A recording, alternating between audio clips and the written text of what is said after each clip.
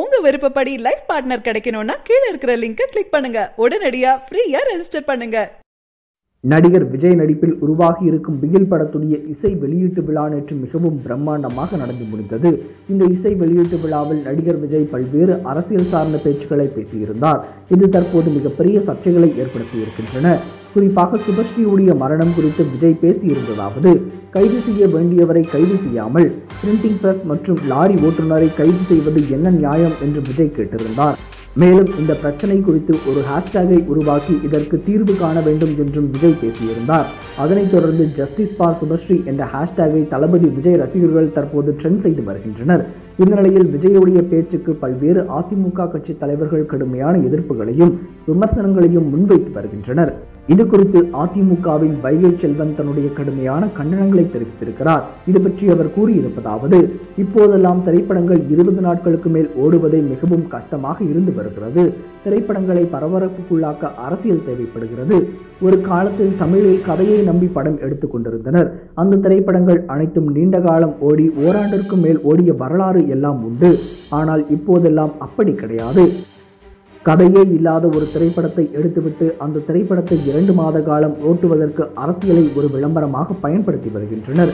இப்படி பரபரப்பை உள்ளாக்கி படத்தை ஓட வைப்பதில் பல நடிகர்கள் இருக்கின்றனர். அதில் நடிகர் விஜயும் இடம் பிடிக்கிறார். அப்படிதான் சமீப காலமாக அவரை படங்களை ஓட்டிக் கொண்டிருக்கிறார். அது மட்டுமல்லாது யாரை எங்கே வைக்க வேண்டுமோ அங்கேதான் வைக்க வேண்டும் என்று நடிகர் விஜய் பேசியிருந்தார்.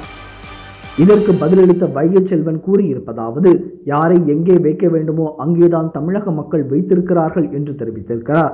மொத்தத்தில் மெர்சல் சர்க்கார் படம் போலவே பிகில் படத்திற்கும் இலவச விளம்பரம் தேடுகிறார் நடிகர் விஜய் என்று வைகை செல்வன் கடுமையான விமர்சனங்களை முன்வைத்திருக்கிறார். இதேபோல பாஜகவுடைய முன்னாள் அமைச்சரான பொன் ராதாகிருஷ்ணன் இது குறித்து கூறியிருப்பதாவது நாட்டில் நடிகர்கள் பேசுவதையெல்லாம் பெரும் பொருட்டாக எடுக்கக்கூடாது என்று தெரிவித்திருக்கிறார். அதே சமயம் பல்வேறு அரசியல் கட்சி தலைவர்களும் விஜய்க்கு ஆதரவாக பேசியிருப்பது குறிப்பிடத்தக்கது. உலகநாயகன் கமலஹாசன் இது குறித்து கூறியிருப்பதாவது தம்பி விஜய் சரியான மேடையில் சரியான கருத்துக்களை தெரிவித்திருக்கிறார். அவருக்கு என்னுடைய பாராட்டுகள் என்று உலகநாயகன் கமலஹாசன் விஜய்க்கு தன்னுடைய பாராட்டுகளை தெரிவித்திருக்கிறார். அரசு செய்யக்கூடிய தவறுகளை கண்டிக்கக்கூடிய துணிச்சல் விஜய்க்கு இருக்கிறது என்பதற்காகவே நான் அவரை பாராட்டுகிறேன் என்று தங்க தமிழ்ச்செல்வன் விஜய்க்கு தன்னுடைய பாராட்டுகளை தெரிவித்திருக்கிறார். இதேபோல பல்வேறு அரசியல் கட்சி தலைவர்களும் விஜய்க்கு ஆதரவாகவும் எதிர்ப்பாகவும் தங்களுடைய கருத்துக்களை தெரிவித்து வருகின்றனர். இது பற்றி உங்களுடைய கருத்துக்கள் என்ன என்றும் விஜய் பேசியது பற்றி நீங்கள் என்ன நினைக்கிறீர்கள் என்பதையும் மறக்காமல் கமெண்ட் செக்ஷனில் சரியான நபரை உங்கள் வாழ்க்கை துணையாக தேர்ந்தெடுக்க தமிழகத்தின் நம்பர் ஒன் சேவை மையத்தை அணுகவும். ஃப்ரீ ரெஜிஸ்ட்ரேஷன் ஒவ்வொரு கம்யூனிட்டிலையும் பல ஆயிரக்கணக்கான சாய்ஸஸ் உங்களுடைய ஜோடி பொருத்தமும் ஜாதக பொருத்தமும் துல்லியமாக பார்க்கலாம். உங்க விருப்பப்படி லைஃப் பார்ட்னர் கிடைக்கணும்னா கீழே இருக்கிற லிங்கை கிளிக் பண்ணுங்க. உடனடியா ஃப்ரீயா ரெஜிஸ்டர் பண்ணுங்க. இந்த தகவல் உங்களுக்கு பிடிச்சிருந்தா லைக் பண்ணுங்க கமெண்ட் பண்ணுங்க. மறக்காம கீழே இருக்க ரெட் கலர் சப்ஸ்கிரைப் பட்டனை பிரஸ் பண்ணி டாப் நியூஸ் சேனலுக்கு சப்ஸ்கிரைப் பண்ணுங்க. நன்றி வணக்கம்.